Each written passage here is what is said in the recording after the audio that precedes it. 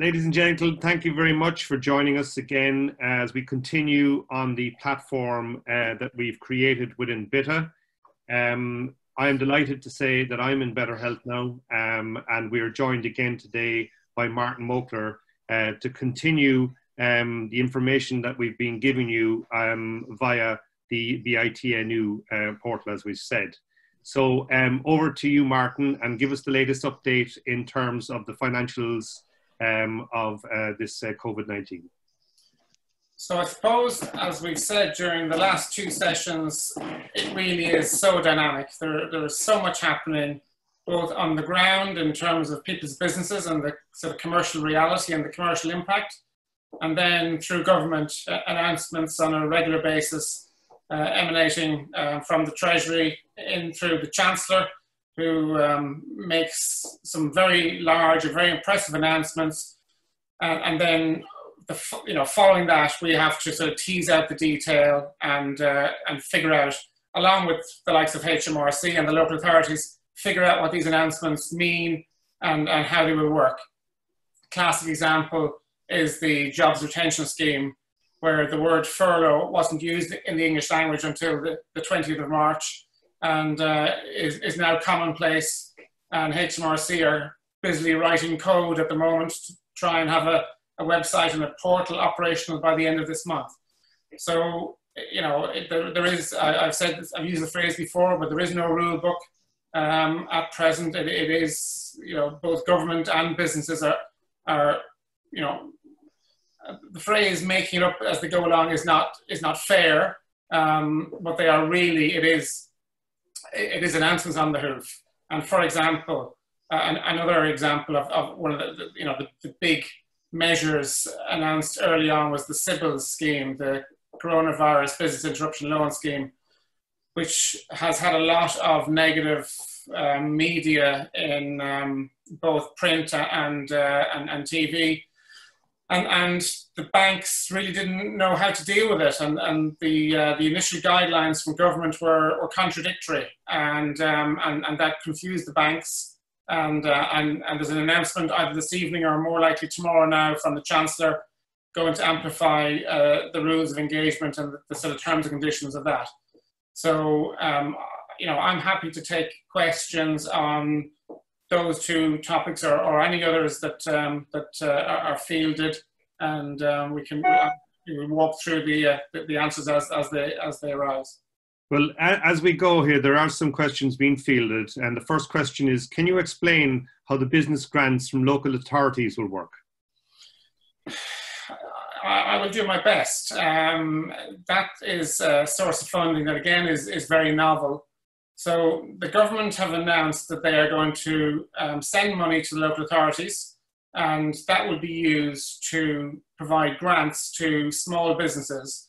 And um, so on um, the 27th, so last Friday, they made a, a, sort of an early installment payment of 3.4 billion to all the local authorities in the UK, and they followed that up now uh, with the remainder of the funds. So the local authorities are, are in funds in principle, what we know so far is that there is no need to reach out to your local authority. If you are a, a rate payer and you avail of the small business relief on your, on your business rates, then you will be contacted by the local authority. And the, uh, the announcement is, is pretty clear. You should get a grant of up to £10,000. Uh, your business should get a grant up to £10,000. Now, if you are in the retail, leisure, or hospitality sector, then, and if your rateable value is in excess of £15,000, then your grant will be as high as £25,000. So these are fairly substantial numbers considering the number of businesses that are operational throughout the UK and the various local authorities. So there's, there's, a huge amount of administration required at the back of this to try and process these, uh, these payments. The only um, sort of guidance beyond that is that if you're concerned that you won't get the money, then contact the local authority. Now that's, you know, a, a little bit, the first message is don't call us, we'll call you. Um, um, but then they have said if you're concerned. I don't know what that means It means if you have recently become a ratepayer and you, you didn't pay full rates for 1920, for example, we, we don't yet know. But certainly, the message is clear. The money has gone from government to the local authorities. They have the cash, and it's now up to them to get it into the system. And the only other thing that's relevant there, um, and again, it only applies to businesses that are in the, the hospitality and, and leisure and retail sector, is that for those particular businesses, they won't pay business rates for 2021.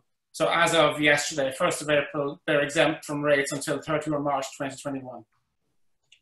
Okay, and the next question is to do with access, and it's uh, do I have to contact the British um, Business Bank to access uh, CBILS loan?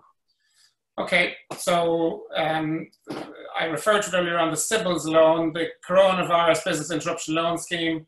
So the short answer to the question is no, you don't.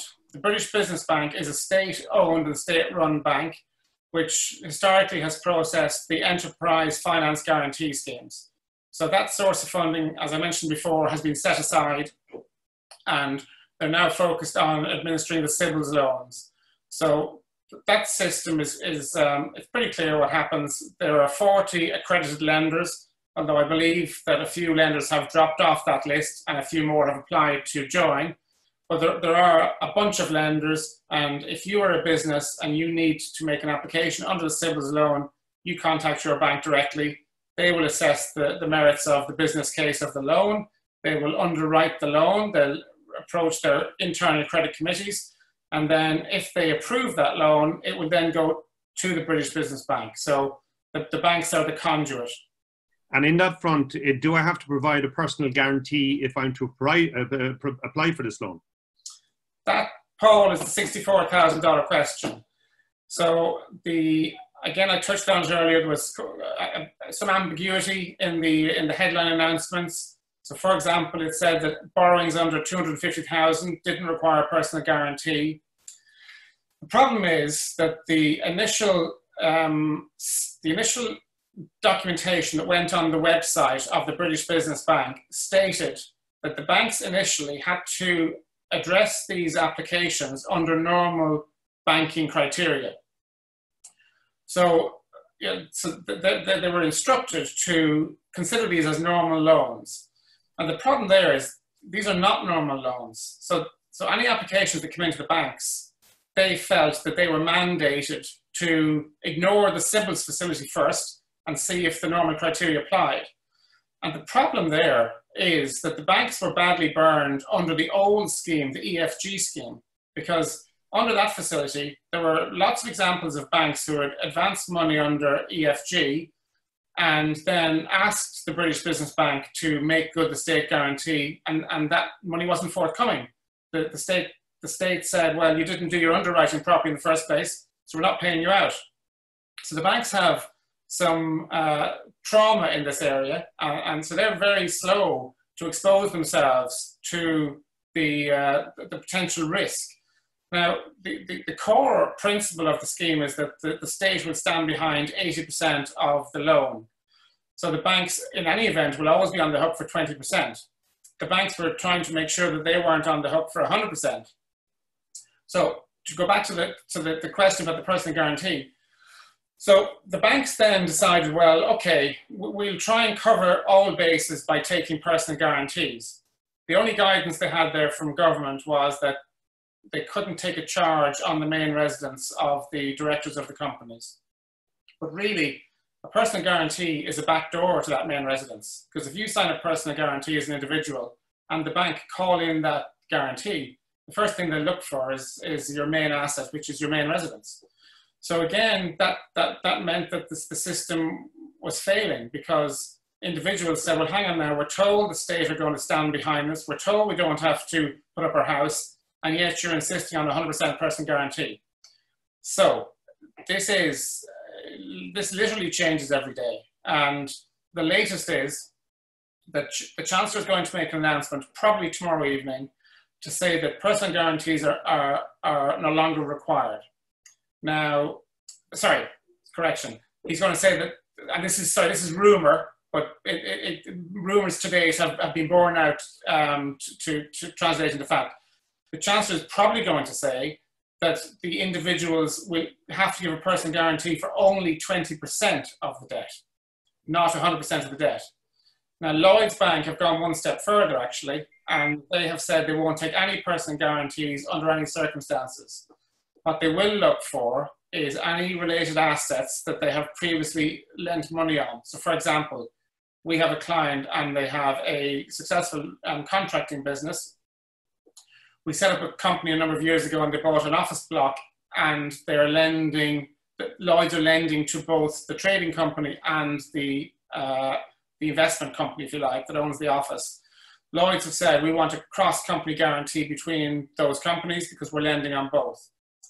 And that's a limited set of circumstances, but they're the only circumstance under Lloyds will look for any form of security outside of the core trading business. Okay, and what about the ease of access to these business grants? And are there any reports of SMEs that have um, gotten these grants already? Well, there's, there's, certainly no business grants, just going back to the local authority grants. The business grants, none of them have come out yet because that money literally arrived with the local authorities on Friday and, and, and, and yesterday. In relation to the CBILS loans, the short answer is, is no, very, very few. I was speaking to a senior member of the uh, one of the underwriting teams in one of the, the large high street banks today. He said he has 40 applications on his desk. He can't approve any of them. He said the quality of the information is, is poor, the business case is poor. He said the, the, the issue is that people are, are, are just, um, they, the business owners themselves are traumatized. They're, they have, they see this as a, as a life raft. They're putting in applications that don't really, they're not really structured properly the bank, the bank now, or as of hopefully tomorrow night, will be mandated by the chancellor to make sure these this money starts flowing, that, that, that money is coming down this pipe. The reality is at the moment it hasn't been. The banks, as I've explained, have been hesitant to push forward with the scheme. But if the Chancellor makes his announcement tomorrow night and he limits the personal guarantees and the banks can assist their customers and give them guidance as to what criteria is required, and hopefully then you know there, will be some cash flowing. But at present, you can count on one hand the number of approved cases. That's interesting. So, how does uh, the SEISS work, and, and will it apply to, say, for instance, a QS one man band limited company? Okay, so to, to, to, answer the second part of the question first, um, the, the likes of the, the, uh, the QS or the project manager or the contracts manager who has his own limited company um, they're unfortunately the squeezed middle. They, they, they haven't been provided for in any of the measures that have been announced so far. The typical structure of those companies are you've got a director who owns the shares, so he takes a small salary and a large dividend. So, yes, he can technically furlough himself and get 80% of his salary paid by the government. That's generally up to 12 grand a year to cover his personal allowances. So he get 80% of 12 grand. There's no measure that is going to compensate him for his loss of dividends. And, and that's a problem. The government have said that they, the directors and shareholders can rely on universal credit, which, you know, it's, it's a safety net, but it's, it's really a, a measure of last resort. So, so the, the second part of the question is no. The, any, anybody who operates their own limited company with a small salary is probably going to face some difficulty. So part A is the SEISS scheme. So that was announced last Friday night, which is only three working days ago, uh, four including today. Um, it is uh, such a novel scheme. Um, so basically, the HMRC are going to compensate self-employed workers for loss of income from for this period up until the end of June. Now, because self-employed income varies considerably, then the approach they're taking is they're going to look at the last three self-assessment tax returns, average out that income, and assuming that the income is less than £50,000 a year, they make a payment of up to 80% of that income. Now, the £50,000 is an important figure because that's a cliff edge if you happen to have an average of 51,000 over the last three years, you won't get anything, which is again, quite harsh, but that's the way the system is, is structured. The other bit of bad news for anybody who will be relying on this scheme is that in any event, no payments will be released until the end of June. So these people have to survive. So you take a guy on the tools who's uh, whatever, bricklayer, chippy, whatever it might be, on a construction site that's closed down, he will have no income from the state apart from universal credit between now and the end of June. The only other thing to be mindful of of, of this scheme is um, it's like it's, it's going very hard to administer. So that the revenue have said a bit like the local authorities, don't call us, we'll call you. They're going to re- review their systems. They're going to see if the individuals qualify. They then reach out to them, and then they'll ask them to make an application. That's going to take some time. Hence the, the, the lead time that they've indicated between now and June. That's three months away. So that's a long time for someone who maybe is living paycheck to paycheck and has mouths to feed. Um, so yeah, it's uh, such a novel scheme. A lot of administration required at the back end by HMRC, and uh, time will tell how, how, it plays out. The other thing they have said is that anybody who failed to get the 2019 self-assessment tax return in has until later this month to file that return and qualify for the scheme. So they've thrown a, a life uh, a life raft or a life belt to people who might be in arrears with their tax returns as well. So again, we don't have any detailed technical guidance. We have the announcement. The announcement made on, on Friday night, the 27th, by the Chancellor provided more detail than previous announcements. So we do have a little bit more of a window into how it works, but, um, but not, not fine detail as of yet. Okay. Um, in terms of um, furlough, we mentioned earlier, um, how do I furlough my employees and can I ask someone to work while they are furloughed? Okay, so again, I'll answer the second part of that question first. The, the, the clear answer from, from HMRC is no. If somebody's furloughed, they are set aside, they remain on your payroll, but they're, they're not to be working. Um, HMRC have said in, in follow up press releases that they will pursue companies if they're aware that, that employees were furloughed uh, and were working. So tricky to see how they would um, be able to uh, pursue that um, other than being told by um, a third party that this, that this happened. But nonetheless, uh, that's a red line. So if they're furloughed, they're, they're not working.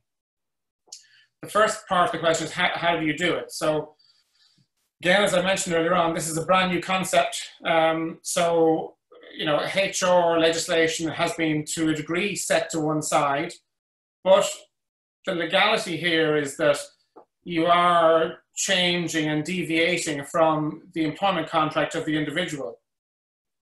So you should put them on notice. You should say that this is a variation to your contract. You're going to be furloughed from a certain date and, and, and, and the employee in theory, should this should should be done on a, on a consensual basis. The reality is that the employee should know that if they, if they refuse to be furloughed, then the next movement by the employer will be redundancy, because this is a measure to, to prevent wholesale redundancies in the UK. We have a little bit more detail in relation to, to how the scheme works. We don't have the detailed technical guidance, but we do know that the, the furlough period, interestingly, will be for a minimum of three weeks. So we don't fully understand why HMRC have chosen that, but essentially, if you furlough an employee and take them back on day 20 as opposed to day 21, then the employer won't be entitled to the grant. So that's an important point to be aware of for employers. Um, the other point, which is um, you know a significant impact for, for, for cash flow, a negative impact for cash flow, is, as I mentioned before uh, in these forums, this is a reimbursement scheme. So you are paying the employees to be furloughed, and then you are applying for that furlough grant from HMRC. You're applying into a portal that doesn't yet exist. So there is a, there's a level of trust here um, that the, the system will be operational and will work. The, uh, the, the, caveat, I suppose, the, the, uh, the, comfort blanket for employers is that in theory, if they don't have sufficient funds to pay the employees during the furlough period, they could apply to the bank for a CBILS loan But again, because of the lead time of, of processing those CBILS applications, like for example, March year end, uh, sorry, March month end has come and gone. Tuesday was 31st of March. Employees were paid, whether they were furloughed or not, the employer had to make those payments. So again, it, it's really new stuff that the, uh, the systems aren't yet in place, but we, we do have a good feel for the, for the rules of engagement in relation to the, the, uh, the furloughed employees. So just in the, the interest of clarity here, um, we have two questions that you've kind of answered there already, and that is, will HMRC pay my employees directly if I furlough them is the first question. And the second one is, do I have to pay the 20% top up to my employees uh, if HMRC pay the 80%? So could you just clarify both of those points? Yeah, okay. So again, um, the first point was, and I touched on it earlier, as, as you mentioned, um, the, employer gets reimbursed. So in any, in any circumstance, the employer has to pay these furloughed employees. So they will form part of the normal month-end payroll. You classify your employees into two categories, normal PAY employees and furloughed employees. And it's quite, it's quite um, clear that you might have a situation where someone gets furloughed mid-month, which is, you know, that, that would be normal insofar as anything is normal at the moment. So in that case, if someone is furloughed on the, on the 16th of April, for example, then they will sp spend half the month as a regular employee and half the month as a furloughed employee. So, um, it, and again, in any event, at the end of April, you pay them and then you'll apply to HMRC for reimbursement. Um, the second uh, part of that question was about the, um, the top up. So the top up was, the Chancellor was silent on the top up uh, when the announcement was made on the 20th of March. And over the weekend, he was contacted by some very large employers who said that they couldn't afford to pay the 20% and they were going to make their workforce, redu workforce redundant, even allowing for the furlough scheme. So the Treasury announced on the Monday, whatever date that was, 23 March, that um, it's not mandatory for employers to, to top up the 20%. And that's helpful because in reality, if you have an employee, bearing in mind this grant is in relation to gross pay up to two and a half grand per month per employee.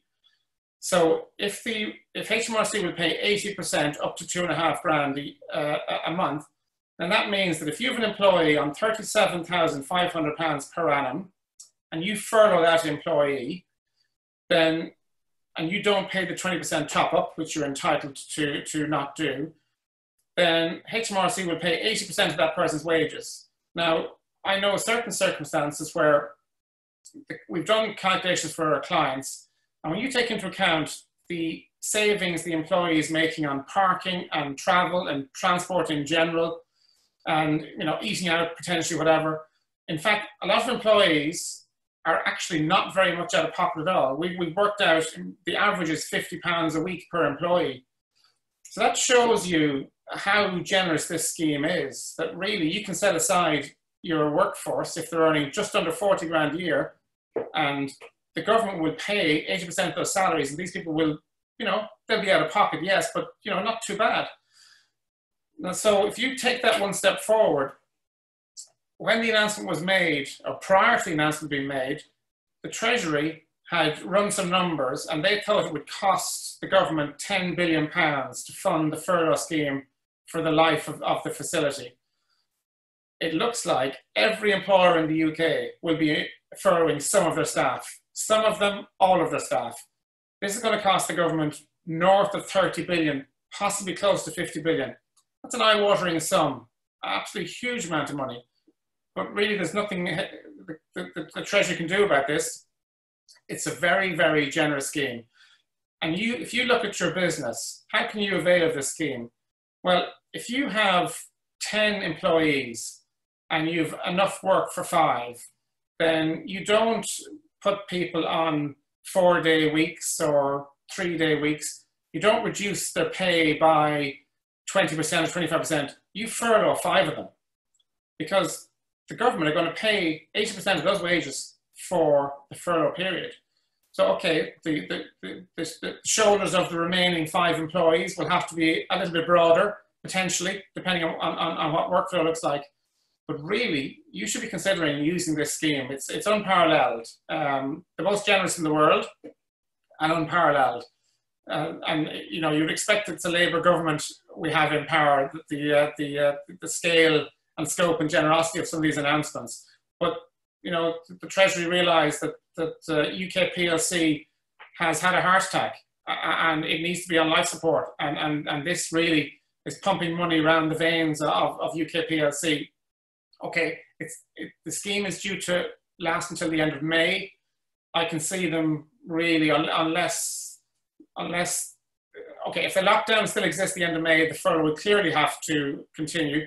But if there's some form of normality returning and we're just limited to social distancing and people are allowed out of their houses, etc., and that scheme will be ended because it is, it is a remarkably generous scheme. Okay. Going back to the SEISS uh, explanation, um, would payments uh, on the scheme be backdated to March uh, when it starts in June? Yeah, they will. Um, and, and, the other thing I forgot to mention about that scheme actually is that bizarrely, self-employed individuals are allowed work during this period. So it's different to the furlough. If you're furloughed, you absolutely cannot work. But if you're self-employed and you're going to claim under the SEISS scheme, you can still work during this period. Okay. Uh, another interesting question, uh, will my business PAYE stroke NIC payments be automatically deferred? They're not automatically deferred. Um, the only automatic deferment in terms of any form of crown taxes are your VAT. So uh, again, I touched on this last week, but this is an important point to, to sort of reinforce to people. The VAT deferment is automatic, but if you pay your VAT by direct debit, HMRC systems will claim that VAT from your bank. So for example, VAT return ended 29th of February. That's due to be debited on the 10th of April, so next week. And that VAT will leave your bank account if you don't cancel the direct debit. So anybody who pays VAT by direct debit and you can't afford to pay the VAT, then you contact your bank and you cancel the direct debit. If your VAT is paid by BACS or by check or any other form of payment, then you, don't have to do anything. It's an automatic deferral. You do, under every circumstance, have to file your VAT return. So HMRC know what VAT they should have received, but it won't. It won't. Uh, there's no penalties for VAT due between. In fact, the date is from the 20th of, of March until the 30th of June. Two other important points, actually, just while I'm on that topic.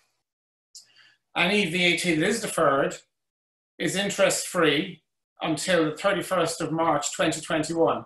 So that's quite generous as well. You've got a, a quarter's VAT deferred for a year essentially, and you have to pay it back sometime between now and the end of March 2021.